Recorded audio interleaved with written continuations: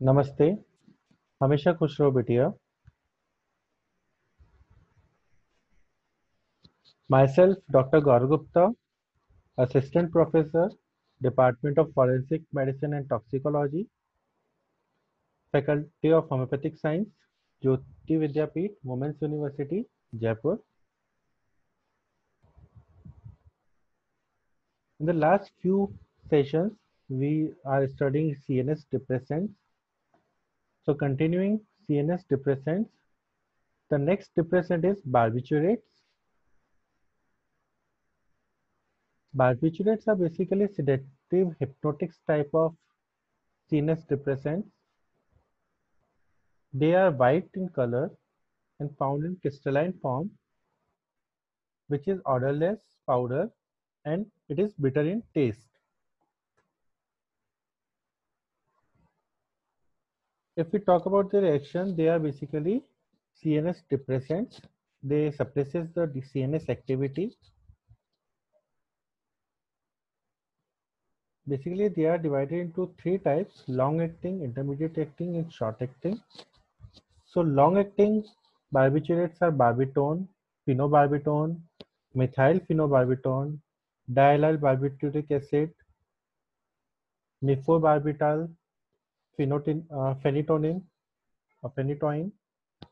Intermediate acting barbiturates are amobarbitone, butobarbitone, probarbitone, sodium amytal, aprobarbital, vinbarbital, allobarbitone.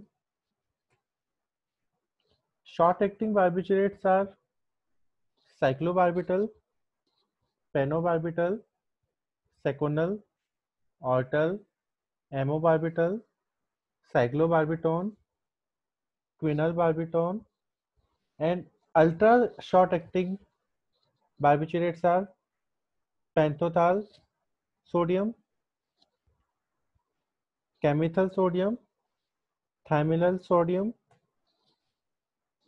It also produces acute poisoning when taken in large dose so a single large dose or repeated small dose in short interval. Then it results in acute poisoning.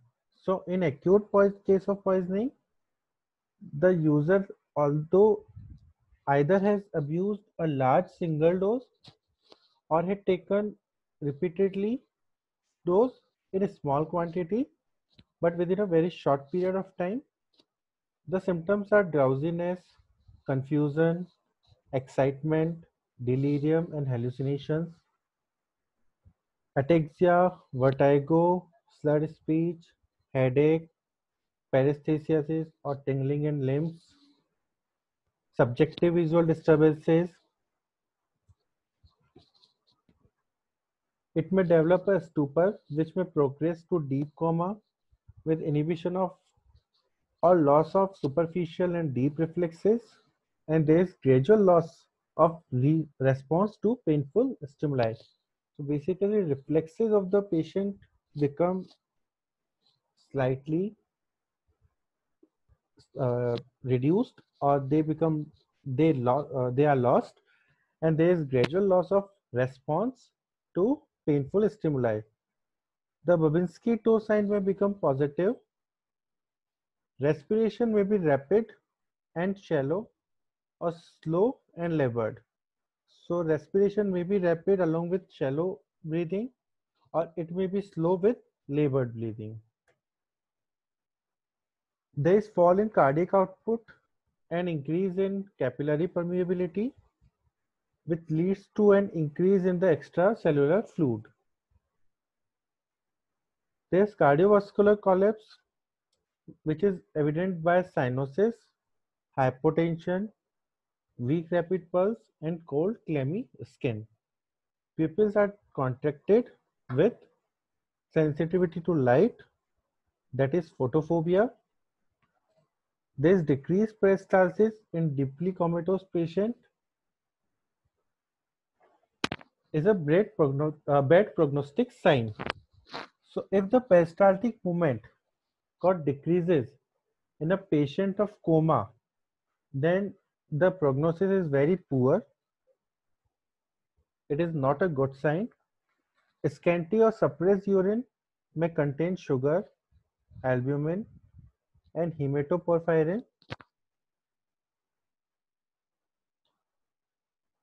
Patient can't control urine and feces. There's incontinence of urine and feces. The temp body temperature becomes subnormal. And if the fever develops, then it indicates bronchopneumonia. Respiration becomes irregular and may become sometimes Cheyne-Stokes-like. And finally, it stops, resulting in death. Patient may also develop delirium, hallucination, ataxia, paresthesias, loss of reflexes, hypotension, cyanosis, stupor that progress to coma and may ultimately lead into death. Blister on the skin may be seen on the sites where pressure has been exerted between two skin surfaces. So the part which is between two skin surfaces and there is pressure, blister may appear there and often on an area of erythema strongly suggests barbiturates poisoning. So if a person is having erythema or blisters in an area where pressure is has been exerted between two skin surfaces, then it is a strong suggestion of barbiturate poisoning. This session is powered by digital version 2.0 by Jayoti Vidyapeeth Women's University. Hope you are satisfied with, with my digital session. If you have any query, please mention in comment box. I will resolve it. Thank you.